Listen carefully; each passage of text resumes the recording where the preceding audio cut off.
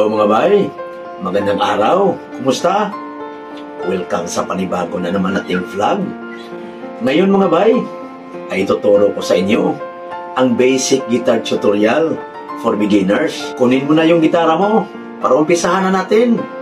Una sa lahat mga bay, kilalanin muna natin itong mga guitar parts para naman malaman natin ang mga pangalan nila. Unahin natin ito mga bay. Ito yung body. Ito. Dito sa body ay makikita natin itong area nito. Ito yung tinatawag na bridge. Ito oh, kung saan dito makakonek yung mga strings natin. Okay? Tapos ito naman, yung plastic na nakaganyan dito, ito, ito yung tinatawag na pick guard. Ang purpose nitong pick guard mga bay, ay para madipinsahan yung gitara natin sa pagganyan-ganyan natin para hindi magasgas ba protection kibalay mga bay ba or protector ito ito naman mga bay. Ito yung neck. Yung neck mga bay ay dito makikita natin itong fretboard. Ito yung wood surface mga bay. Flat surface dito itong sa harap. Dito sa fretboard ay makikita natin itong parang matigas na plastic kung saan nakapatong yung mga strings natin. Ito ito yung tinatawag na nut. At ito naman mga bay, yung mga steel na nakaganyan, na ito yung tinatawag nating fret.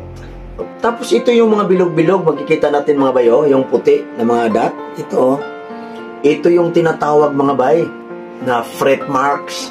Ang purpose nito mga bay, kumbaga mga markings ba, instead na magbibilang ka ng 1, 2, 3, no need na magbilang mga bay, kumbaga sa first mark ka na lang pupunta ganyan.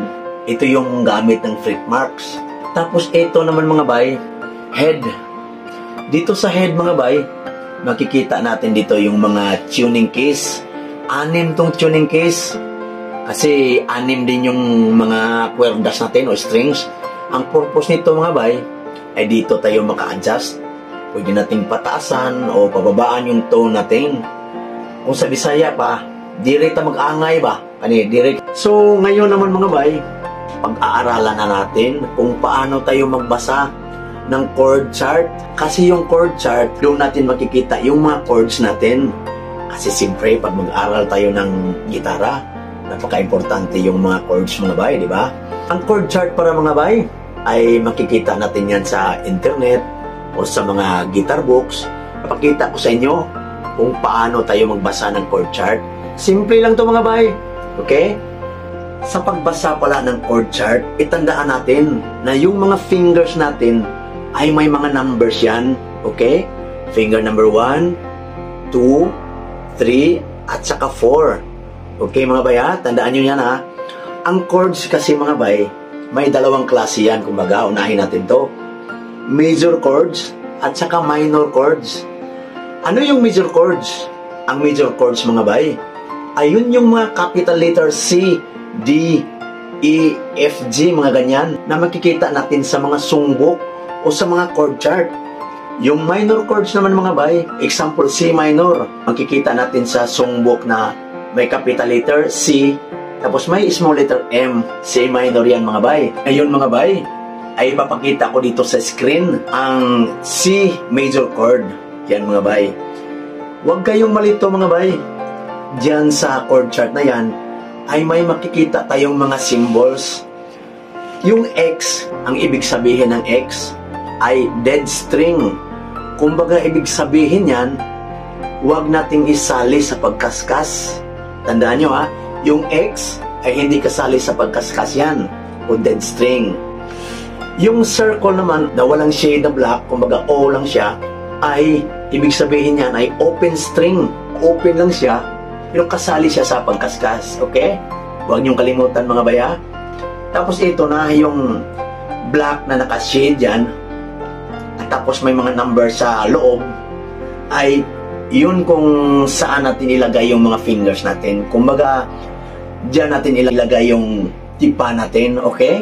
Ang position pala ng chord chart mga na makikita natin sa screen ay paganyan yan mga bay, huwag kayong malito. Yung thick na black na line dito, ayun yung nut. Tapos yung mga lines na paganyan mga bay, oh, ayun yung fret. Tapos yung mga line na pa-vertical ganyan, yun yung mga strings natin mga bay. Kaya yung C chord natin sa major uh, chord, ganyan yung position mga bayo. Ganyan yung position niya sa chord chart natin. Pero hindi ko sinabing ganyan tayo mag-practice mga bay. Para lang ipakita ko sa inyo mga bay ba, ganyan yung position. Sa key of C mga bay, ganito yan. May mga numbers yan. Ito yung mga numbers sa fingers natin yan ha. Ganito yung C mga bay. Dito. Boss dito. Dito. Yan ha. Number 1, number 2, number 3 finger. Okay? Of C. Yan mga bay ha. Oh, Huwag kayong mag-alala mga bay kasi sa umpisa bay mga hindi pa masyadong tumutunog ng maayos. Pero okay lang yan mga bay. Diin na ng kunti mga bay, ganyan. Yan na, no? Cube C. Tapos, huwag ninyo iganyan mga bay, ha? Kasi hindi, kung maaari ganyan mga bay, ha? Tapos diinan. O yan mga bay, ha? Sa iyo naman mga bay, ay isunod natin yung D. Ah, D major. Ganito yan mga bay. Finger number 1, dito sa pangatlong string. Tapos yung number 2, dito sa ganyan. Tapos yung finger number 3, ito. Ganyan yan ba, oh? Tandaan natin yung X, di ba, dead string? Ito mga ba, yung dalawa, X to, di ba, naka-X yan sa chord chart. Huwag nating isali sa kaskas. Pero itong pangatlo, open string to. Ibig sabihin ha, yung nasabi ko kanina, kasali siya pero open lang siya. Ganyan yung D mga bayo.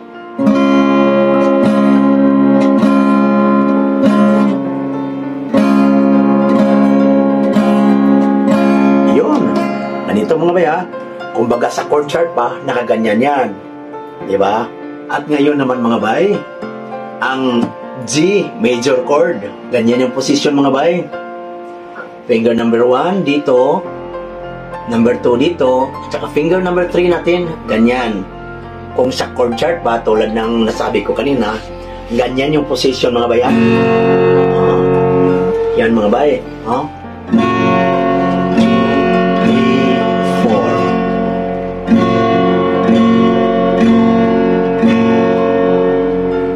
Umpisa mga bay, tulad ng nasabi ko, hindi pa masyadong maganda ang tunog. Pero natural lang yan bay, kunting diin lang, ganyan.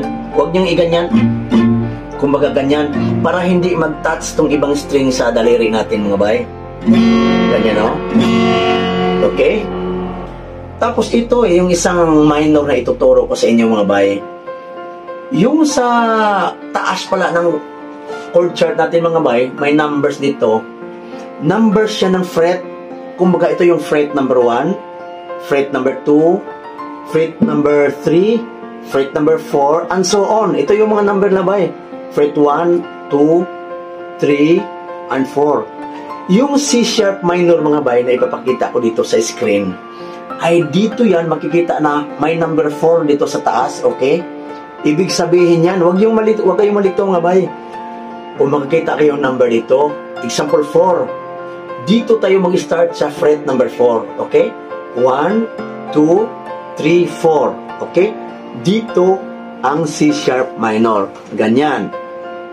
Nakaipit yan mga baya. Tapos ito yung isa, dead string to, kumbaga X. Huwag niyo isali yan mga bay. Ito yung C sharp minor. Bakit dito ako nag-umpisa? Kasi may number 4 na nakalagay dito. Okay? Yan lang mga bay. Oh. Ngayon naman mga bay, ay ituturo ko sa inyo yung basic na strumming para magamit ninyo sa pag-practice ninyo ng chords. Katulad ng C, ganyan mo na yung strum natin mga bay. Puro down lang muna mga bay. 1, 2, 3, 4. Up. Tapos balik. 1, 2, 3, 4. Release. D naman. 1, 2, 3, 4. Release. Balik naman. 1, 2, 3, 4. Release. G naman mga bay. 1, 2, 3, 4. Release. Ganyan. Ang purpose po nitong pinagawa ko sa inyo mga bay na ganyan 1, 2, 3, 4, tapos release para masanay yung mga daliri ninyo sa pagtuod ba? Sa paglagay ba? Kasi pag hindi mo ni-release, eh, parang hindi ka, mas maganda pag ganyan-ganyanin mga bayo. Para mas madali. Tapos D naman, 3, 4, release. Kumbaga ganyan-ganyanin mo ay para madali ng nunid na maganyan-ganyan pagdating ng mga araw, okay? Kaya pagtapos ng 1, 2, 3, 4, release, tapos balik. 1, 2, 3, 4, release. Ganyan lang mga bay. Hindi mo malalaman na unti-unti mo na palang nasana ito. Tip ko lang sa inyo, pag nagpa-practice tayo ng gitara, huwag kayong, kumbaga, putulan natin yung mga mahabang nails natin dito. Kasi hindi maganda pag mahaba yung mga kuko natin dito. Kasi mahirap mga, mga bay, kasi mutukod na dito sa fretboard ba? Tutukod yan dito sa fretboard. Tapos ang tendency niyan, hindi maganda ang tunog ng gitara. Lalo na pag nag-umpisa pa lang tayo. Hindi ko naman sinabi na iklian ng pagputol. Kumbaga tamang-tama lang. Okay? Tapos yung masakit yung mga fingers natin sa umpisa, natural lang yan mga bahay kasi wala pa man tayo kubal ba? Kung sa Bisaya pa. Pero time will come. Mawawala na yan yung sakit mga bahay. Continue practice tayo ba? Tapos huwag kayong magsawa. Kasi hindi naman natin to makukuha sa isang practice mga bahay. Kumbaga importante niyan mga bahay. Love natin sa gitara at sa music. Mga kung sa Bisaya pa, nadyo kay gugma sa imong hunahon sa imong kasing-kasing sa gitara ug sa music world siyempre. O ganyan. Hanggang dito lang po muna ang vlog natin ngayon. At sana ay may natutunan kayo sa ating tutorial. At pag bago ka pa lang sa channel namin, please don't forget to like and subscribe. Maraming salamat mga baya. Keep safe and God bless everyone. See you mga bay sa susunod na naman nating mga tutorial.